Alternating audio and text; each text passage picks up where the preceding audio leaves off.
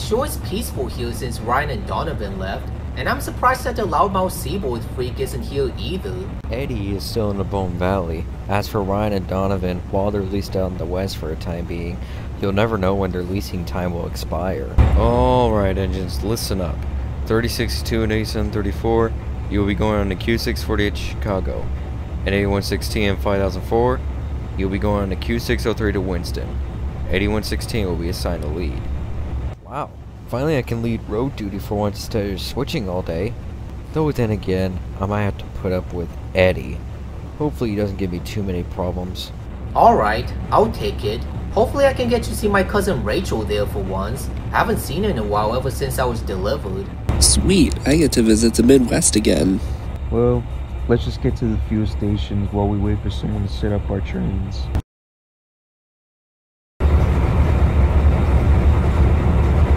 Alright, Shawn and Kaleb, your trains are ready. Okay. Alright. Well, time to get some fresh air. We are soon ready to depart. Hope you have fun down in Florida. You too. Though I heard the weather is harsh up in Chicago. Hope your engine doesn't freeze there. Oh, I'm sure I'll be fine. Dispatcher at Q603 and Q648. CSXT, locomotives 8116 and 3062. You have the clear to highball to your destinations.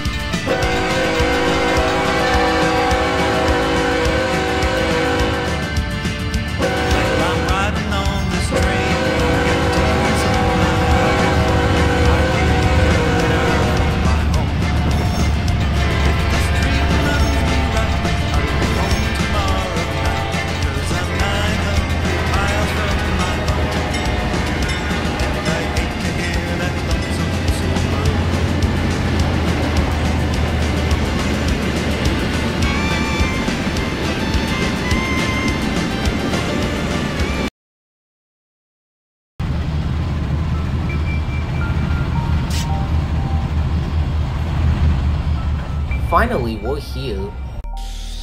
Brr. Can you b- b- bring me into that shed over there? I-, I feel like my engine is going to freeze. Sure thing.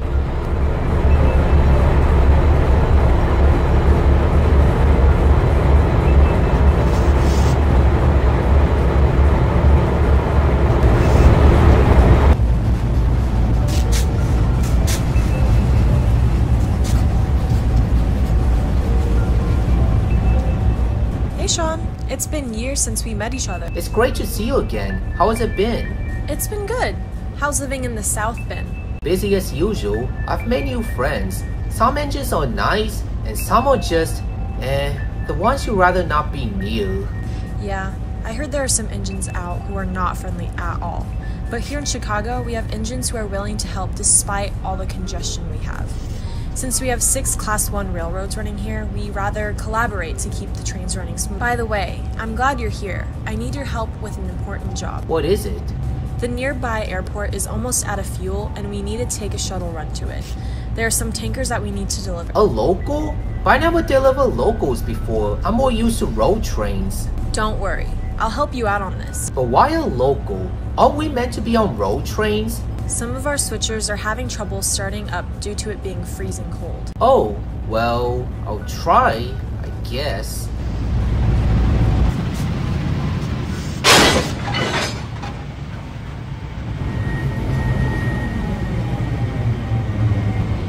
Whoa, slow down. You know you could have damaged my coupler if you went any faster than this. Sorry, it's just too slippery to adjust my speed. Try turning on your sanders so you can get a good grip. Ready? Ready? Remember to not go too fast. The tracks are slippery.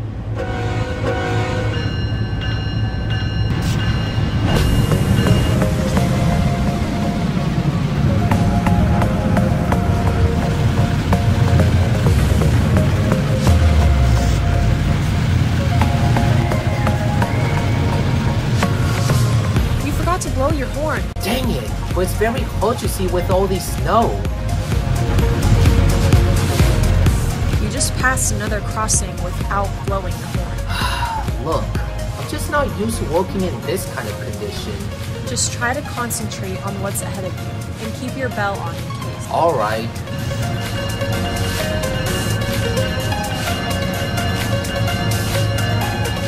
So what do we have to wait for? We have a commuter train that is hot on the wheels of us, so we have to wait for it to overtake us. Ugh.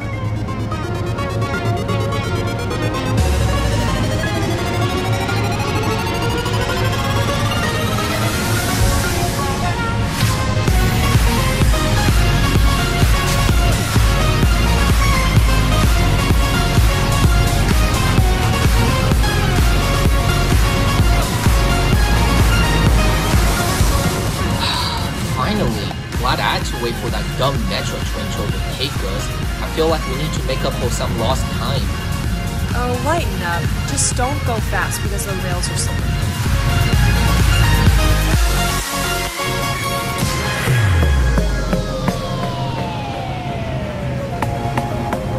These tank cars have already been loaded with crude oil.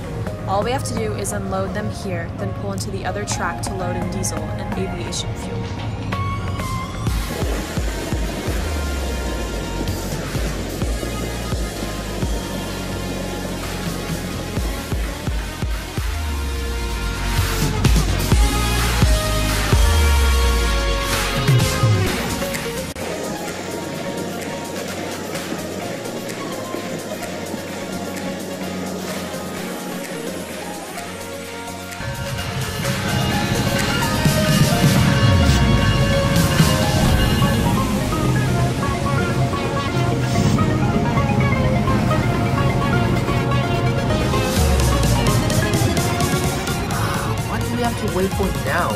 Got done loading in this fuel.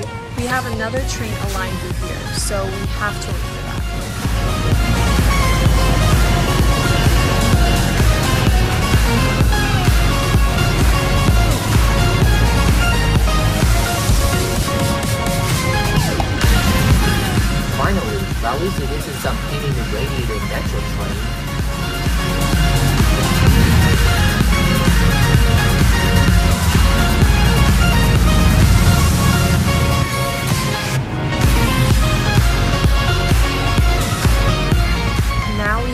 we have to unload the diesel fuel.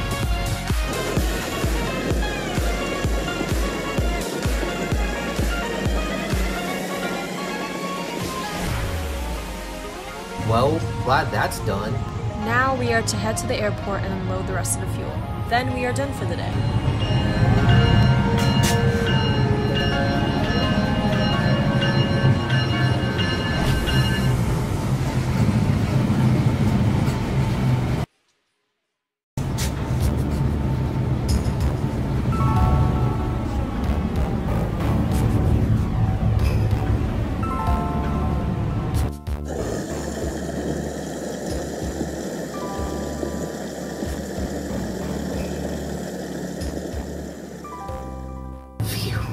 This job is over with. Now let's head back into the yard so we can uncouple from these tank cars and get fueled up for our next assignment.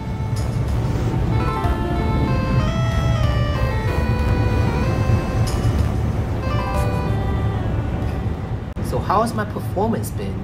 You are gradually getting there. You just gotta work on your vision and speed in this kind of weather. Well, glad I get to learn new things, since I will at some point get a sign on locals in the future.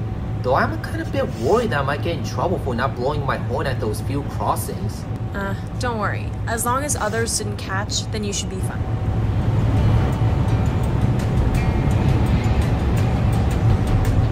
Did that engine just say he didn't blow his horn? Well, it's too snowy and he's new to this area. Either way, I'm going to report him to the yard master. What? No, you can't do that. He's my friend. Plus, it's not his fault why he couldn't blow his horn.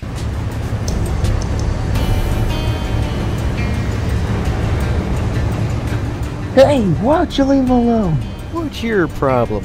That CSX locomotive with number 3062 forgot to blow his horn at some crossings, and that's illegal, you know. He should get cut by the yard master for that. It's not his fault. It's too hard to see in this harsh weather.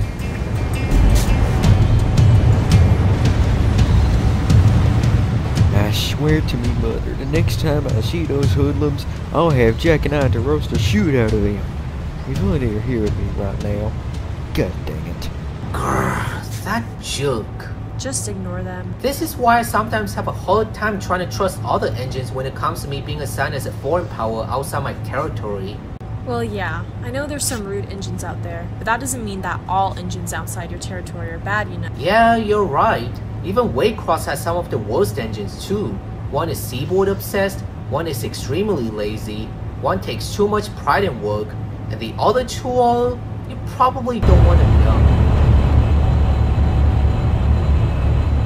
Oh hey there, is your engine all warmed up? Yep, I am ready for any assignments.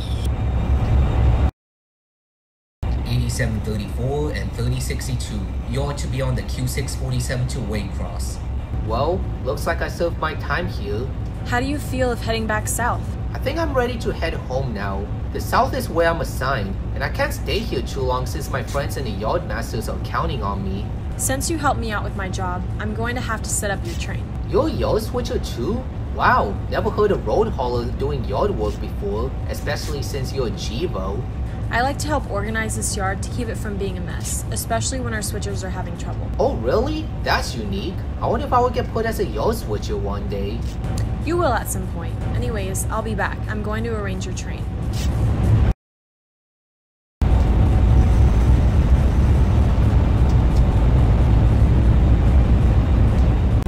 Alright, your train is ready. Thank you. Hope we can see each other again sometime soon. It was great having you here. You have a safe trip back home. I had a wonderful time with my cousin, and you would not believe what I learned to pull. What is it? I got to pull a local, and even in the snowy weather too. And I learned that my cousin can also do yard switching as well, which I might get assigned to in the future. Interesting. If you need any tips, come to me. I also had a great time with my brother and my cousin too. Who even cares? All that matters is Seaboard! Since when did Eddie ever return? right when I got back. That idiot complained the whole time all because of a stupid boxcar. The boxcar was gonna be mine! I just came back from having a good time with my cousin, and now I'm in the middle of this petty argument over some stupid box call? If that's the case, I'm out of here. I'm not staying here full of engines arguing. Yeah, you best get out of here. Because you don't want to hear him when he's complaining. Trust me, I have to go through this on a daily basis. That's right!